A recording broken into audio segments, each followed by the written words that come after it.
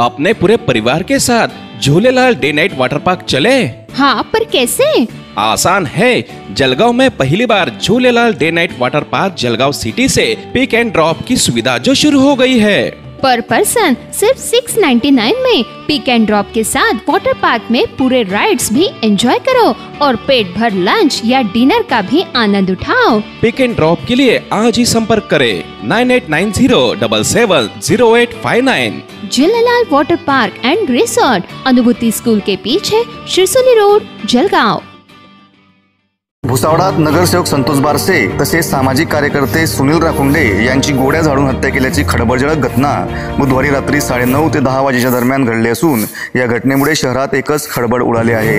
याबाबत मिळालेली माहिती अशी की नगरसेवक संतोष बारसे तसेच सामाजिक कार्यकर्ते सुनील राखुंडे हे दोघे चारचाकीतून राष्ट्रीय महामार्गाकडून जुना सातारा मार्गाने शहरात येत असताना पुलाजवळ हल्लेखोरांनी त्यांना अडवून त्यांच्यावर गोळीबार करून पलायन केले.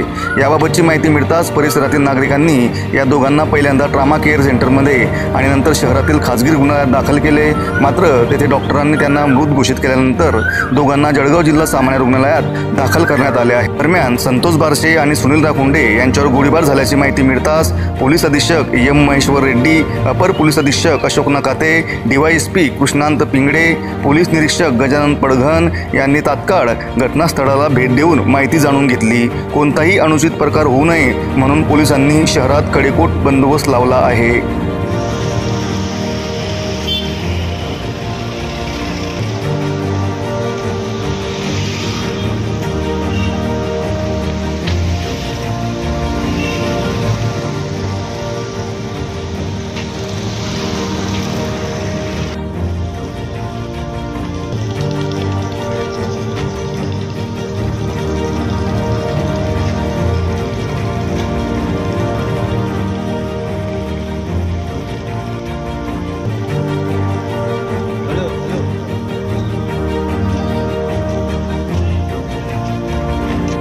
आज शाम अंदाज दस बजे भुसावल शहर में मेरी माता मंदिर के पास शिफ्ट गाड़ी में दो आदमी जा रहा था। अचानक में दो आदमी उस गाड़ी के पास आया और उसके ऊपर फायर किए थे और फायर करने के बाद ये दोनों आदमी उस जगह से भाग गए थे और जो दोनों आदमी को हॉस्पिटल में लेके आने के बाद डॉक्टर ने मृत्यु घोषित किया है।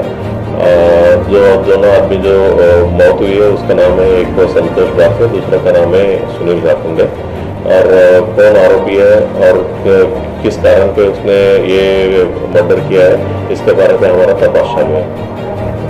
जिनपे हल्ला हुआ है मतलब ये एक्स नगर सेवक है अभी नहीं है। ऐसा इंफॉर्मेशन मिल रहा है, जिसके साथ के बारे में हम इन्वेस्टिगेट कर रहे हैं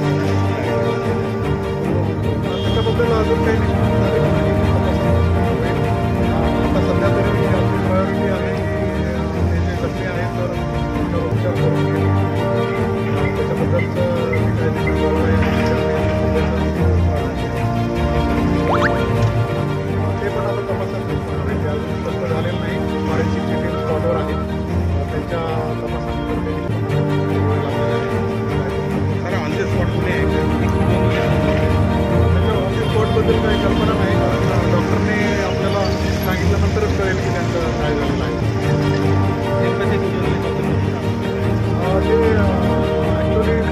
येत होते हायवेकडून तेवढी डायरेक्शन आपल्याला समजलेली आहे. कुठून येत होते ते माहीत नाही पण भुसावळच्या दिशेमध्ये गावामध्ये ते हायवेकडून येत होते. जळगावच्या दिशेने जो रोड येतो तिकडून जात होते. गावामध्ये गाडीमध्ये प्रथम दर्शनी दोन लोक दिसत आहेत. तर अजून तपासामध्ये आपण बघत आहे की दुसरे कोणी होते की नाही.